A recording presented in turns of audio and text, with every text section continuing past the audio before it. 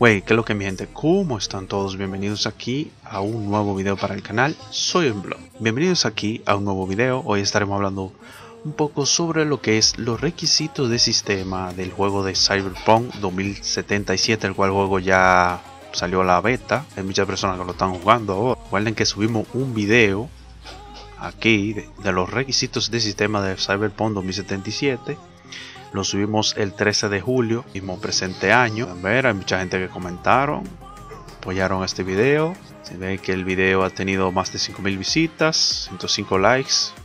Veo que lo han apoyado muy bien. Lo cual estos requisitos los sacamos de aquí de esta página. Pero resulta que lo han actualizado los requisitos de sistema. Resulta que en, eh, los lo primeros requisitos que ellos exigían, lo de CD Projekt, era un, como mínimo un i5 2400, que lo podemos ver aquí abajo.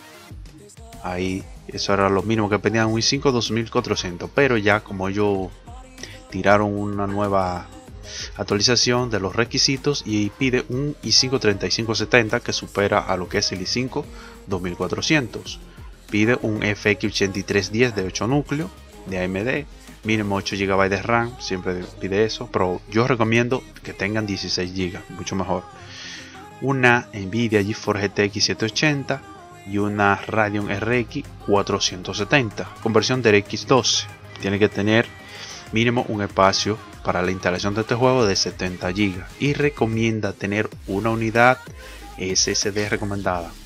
Pues ya son los juegos pesados de ahora, lo más recomendable es que usted lo instale en un disco sólido, porque así el juego le carga aún más rápido. Entonces pasamos a los requisitos recomendados. Recomienda tener un procesador Intel Core i7 4790 de cuarta generación de Intel o un AMD Ryzen 3 3200G. Ese procesador es bueno de AMD también. 12 GB de RAM como recomendado, pero si tiene más, mucho mejor.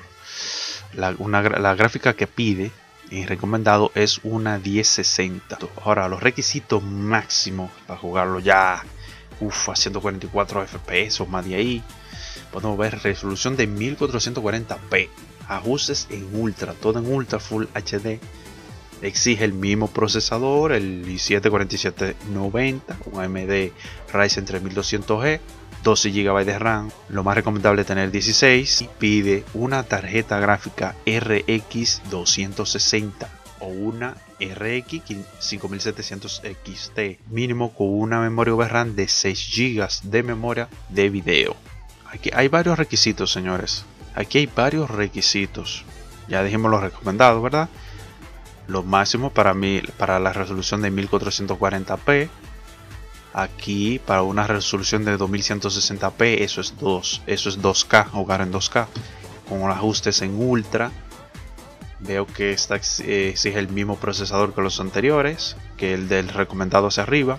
16 GB de RAM. La tarjeta gráfica es una RTX 2080 Super o una RTX 3070 ya de las tarjetas actuales o una Radeon RX el 1800 XT con 8 GB de VRAM. Ahora pasamos a los requisitos con Ray Tracing mínimo.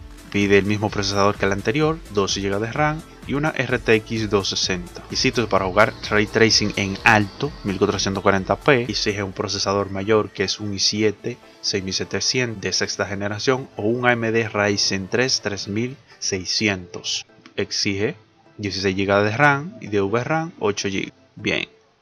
Entonces, pasamos a los últimos requisitos, a los requisitos con ray tracing en ultra, ya un ray tracing más poderoso a una, a una resolución de 2160p, eso es 2K ya, 16 GB de RAM y aquí la diferencia es que exige tener una RTX 3080 con una memoria VRAM de 10 GB.